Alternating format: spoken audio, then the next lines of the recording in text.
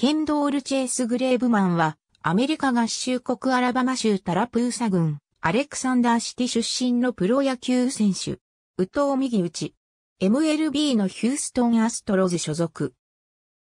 愛称はディガー。2012年の MLB ドラフト36巡目で、マイアミマーリンズから指名されたが、契約には至らなかった。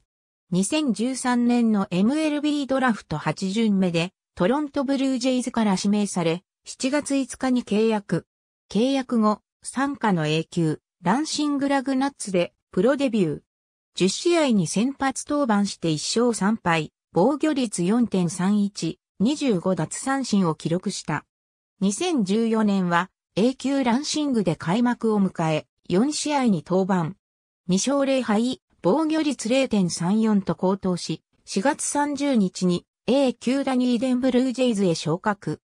A 級ダニーデンでは8試合連続でクオリティスタートを記録するなど、16試合の登板で8勝4敗、防御率2.23と結果を残し、7月28日に A 級ニューハンプシャーフィッシャーキャッツへ昇格。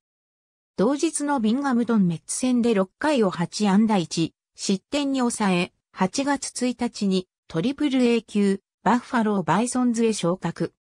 トリプル A 級バッファローでも6試合の登板で3勝2敗、防御率1.88と好投し、8月31日にブルージェイズとメジャー契約を結んだ。9月2日にメジャーへ昇格すると、5日のボストンレッドソックス戦でメジャーデビュー。3点リードの8回裏から登板したが、先頭打者のヨエニス・セスペデスに右前打を打たれ、一死も取れず降板。直後に登板したアーロン・ループが敵地打を打たれ、セスペデスが本塁に生還したため、この日は1安打1失点だった。この年はリリーフとして5試合に登板し、防御率3.86だった。メジャーでは目立った活躍はできなかったものの、マイナーでの活躍が評価され、ベースボールアメリカのマイナーリーグオールスターチームや、ブルージェイズ参加のオールスターチームに選出された。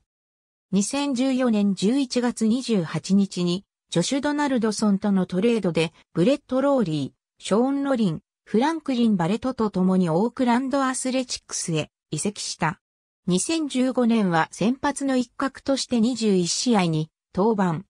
6勝9敗、防御率4.05という成績を残し、1試合ある完投は自身メジャー初のものだった。2016年は完全に先発ローテーションに定着し、いずれもチームトップとなる31試合186.0イニングに投げた。防御率4.11、一つの完封勝利含む10勝11敗という成績を残し、エース格として奮闘した。2018年7月にはトミー・ジョン手術を受けた。オフの11月30日にノンテンダー FA となった。2018年12月23日にシカゴカブスと1年57.5万ドルの契約を結んだ。2019年は手術の翌年ということもあり、マイナーでのリハビリ当番2試合に投げただけだった。オフの11月4日に FA となった。